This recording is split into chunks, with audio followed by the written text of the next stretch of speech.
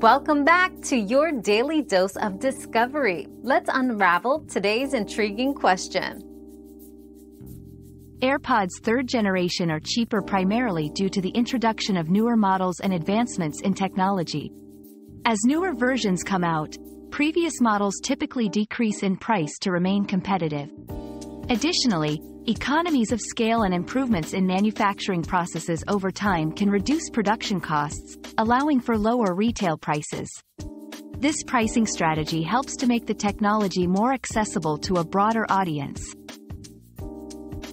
We've quenched today's curiosity, but there's always more to learn. Keep the curiosity alive by subscribing and joining us for our next adventure.